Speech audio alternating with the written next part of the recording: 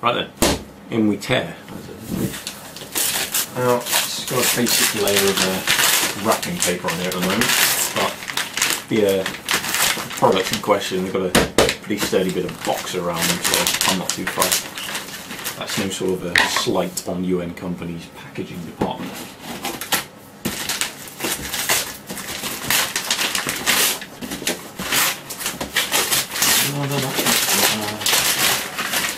Like Christmas Day, almost, except with you know, probably less presents, depending on how many presents you tend to get on Christmas Day. I don't get that much anymore. I earn my own money, so yeah, that's the, that's that's the bad thing about growing up in a way. But then I now I, I can then buy what I want when I want instead of having to wait for pocket money, I suppose. But yeah. One great big box that says King Arms on it. So the you out can take a rough guess at what sort of things in it. Um, got a very good deal on this thing at UN Company. They were having a sale on.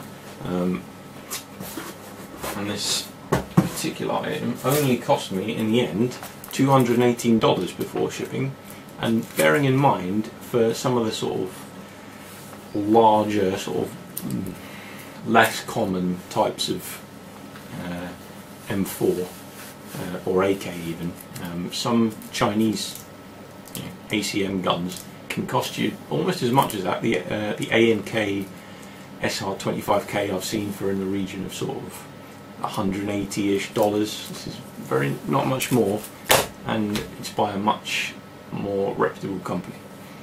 You know, Chinese guns they're, they're good value for money if you get a good one. Certainly, sort of uh, Cyma, Cyma, what do you say, Jingong, um, A&K, they make some good stuff, but you, you're taking a little bit of a risk because they're going to have a fairly high lemon rate, um, as some people say. So yeah, fucking. Um, I know that this packaging I like. It's got plenty of. Uh, well, Uenco seem to put it upside down because here's the shaped bit on the top. I'm not sure why they've done that. Who knows?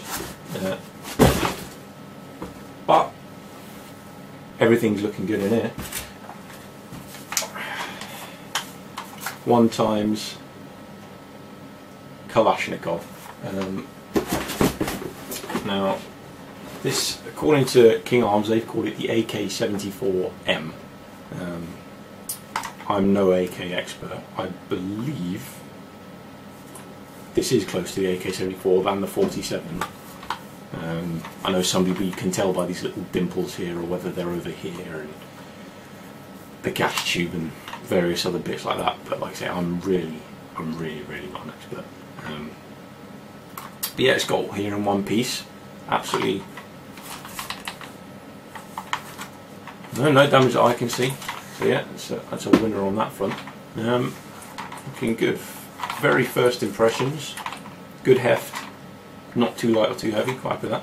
Plastic. A little bit wobbly. Um, handguard there. The top, the uh, gas tube cover part. That's pretty wobbly. Um, handguard. Fairly sturdy. Stock. Very tiny little bit of wobble. It's not really going too far. Um, top cover, that's actually very solid. Those can quite often be very loose on a lot of AKs. Cocking handle, it doesn't exactly sound exactly mean or impressive, but yeah, yeah, no, no worries. Selector.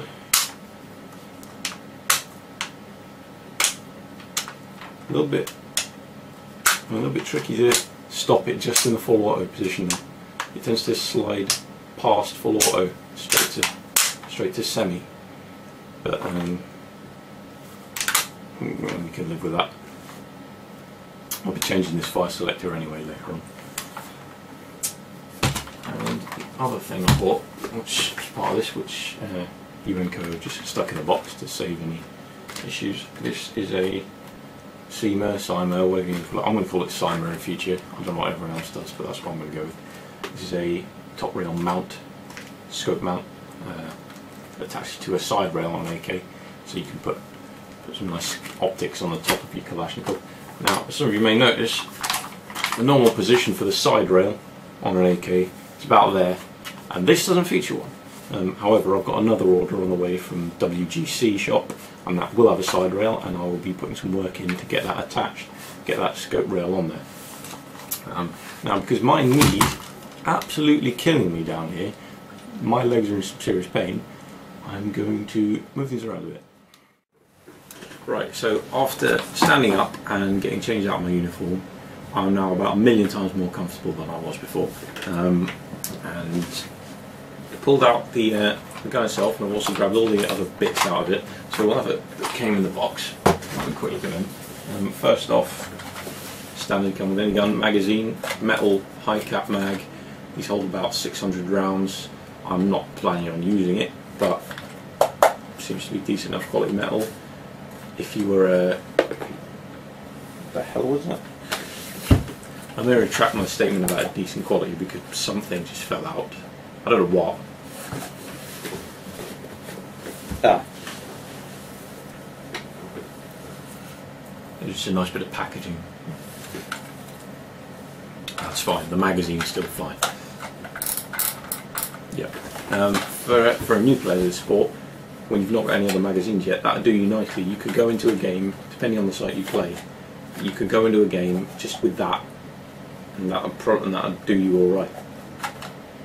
So yeah, all fine on that front. Um, the bit I'm quite pleased with, two of it, comes with a instruction manual, nice, quite large colour printed, which is a change. Um, nice shiny paper. Uh, just about, it's a generic manual for the entire King Arms AK line. They do a few safety instructions, the usual stuff, sort of basic sort of parts diagram, what the uh, fire selector positions mean, how to install the battery, adjusting the hop, installing the magazine, and quite possibly one of the most important parts of a manual that's well quite vital on occasion illustrated parts diagram breakdown to right the way down to uh, component parts of the entire rifle and. Uh, and inside that was a was a pamphlet specific to this uh, exact model the AK-74M um, basically it's listing a few characteristics about it and detailing again how to install the battery which is all good. Oh, oh I forgot this bit. We've got QC passed stamped on there, another number there, 0007, I'm not sure what that means, but someone, you can see that's ink, someone's actually stamped on there, so that's good to know. Um, but my favourite part is this little tag that came in here. If you look at the back, we'll see it's a little QC uh, tag of the quality process it's been through, quality checking. It's got the product code on there, the average velocity it was doing. So someone's put some BBs through this before they put it in the box and sent it out, and it's got down. It's doing between 106 and 110 meters per second, which is what it should be doing. Be around 330 FPS, I think. Uh, the name of the guy who tested it, uh, the serial number of the gun, the weight of BBs it was used. In this case, is tick 0.2, which is all good. Uh, it's not used gas, so and the gas or temperature isn't relevant. And the the uh, the date that the testing was done. Now that I like. I've not had that in any gun before. I've not had that from TM or G&P or any of those companies. So that's quite nice. That's reassuring to get. UN company very kindly sent me a nice pen. That's awesome. WGC are doing calendars at the moment. When uh, any order you make, you have free uh, flip calendar. So, in Michigan, uh, I'll, I'll be adding these to my collection of my e-hobby Asia pen and some other stuff I've got. Oh yeah, and some UN company. Not sure if you can see that. Yeah, post-it notes. Awesome. Uh, like I mentioned before, this this is the Cyma side rail mount, scope mount that I ordered with it. Probably go into that a little bit later on, but yeah, for a Chinese product, that's looking fine. they've thrown it in the box, which is with the gun, which is what I was expecting to do. To be honest, it makes more sense than trying to attach it on the outside. Plus, the gun came in a massive load of squidgy foam packaging, which will protect anything in there very nicely. So that's the gun itself. I'll try not to bring all the packaging paper with me. Like I said, this isn't exactly going to be a review. I'm not going to be shooting this or anything like that. Um, but King Arms are a company that I think makes some interesting AEGs, some interesting airsoft related products. So I'm going to go through a little bit about the gun. This is only the second King Arms gun I've ever bought. Um, like I said, I'm, I'm quite intrigued by the company because they they are a bit original. This isn't exactly an original gun, um, but some of the other stuff they do is good. And this particular one has, it's got a lot coming for it. There's going to be a lot of changes made to this particular Kalashnikov. Um, so we start at the back end and just do a little overview of the externals. Metal butt pad on there, the battery goes inside the stock at the moment. Nice sort of contoured end, held on there solid, that's all good. Stock, the plastic on this isn't too bad. I tend to notice the King Arms plastic they use isn't always that great.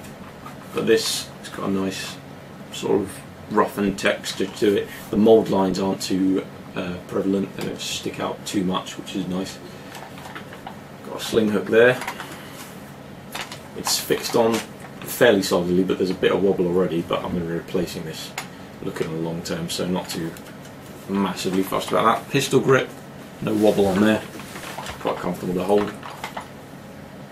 Trigger guard, solid, magazine catch, does what it should, I tested that a minute ago. Top cover, it's on there solidly, comes off. I'll leave that off for now. Um, you can see the gearbox there, wiring's looking quite good from what I can see so far. Hop unit adjustment, just behind the feet bolt cover there. Fire selector is wearing the paint off of it already, which is a little bit worrying. Um, but then I suppose with AK you kind of want that worn look, well most people do anyway, so there's possibly an advantage that the paint isn't that great in a weird and twisted way.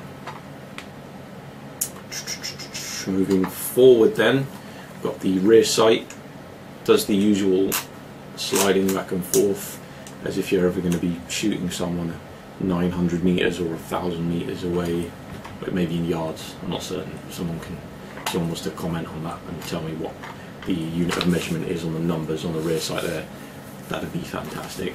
Uh, but yeah, as it should. The trunnion block there, solid, no wobbles. The actual overall metal quality of the receiver uh, and the top cover as well, quite good. It's not it's not flexing. It's quite thick actually. Uh, so the, the markings are nice and deep. You've got all the sort of fake rivets and bolt holes and all that stuff in there. That looks very nice. Um, hand guards. This is my first slight disappointment on the external side. This plastic is, and this is a trend I've noticed with um, well, with the King Arms guns I've handled. I only own one other one, which is the tactical, the FAL tactical carbine, um, and the stock and the handguards of plastic on that is not great. I think I think it's going to hold up to some knocks. I don't think you're going to find this shattering. I don't think it's too bad. But there's a mould line that's quite, you know, you can feel that definitely in your hand. Uh, so it sticks out quite a lot. Hang, lower hand guard, it's a bit of a wobble to it, and like I mentioned earlier, the, the top cover there, gas block, gas tubing, um, that's fairly loose. Does it come off like the real thing? I can't do it. It's possibly because it's new. I need some tools. Not sure on that front. Find out later. Another sling point there.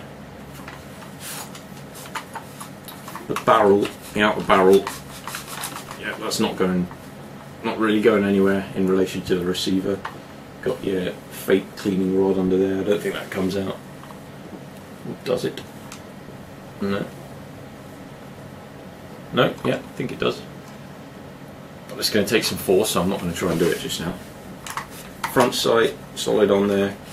Gas blocks on there, pretty good. Flash hider, bit wobbly. Metal seems decent though. So yeah. Trigger, it's got that sort of spongy, agey feel you're all used to, so that's about standard. Selected, all good. Um, so yeah, it's for $218, not a bad deal in my book. Um,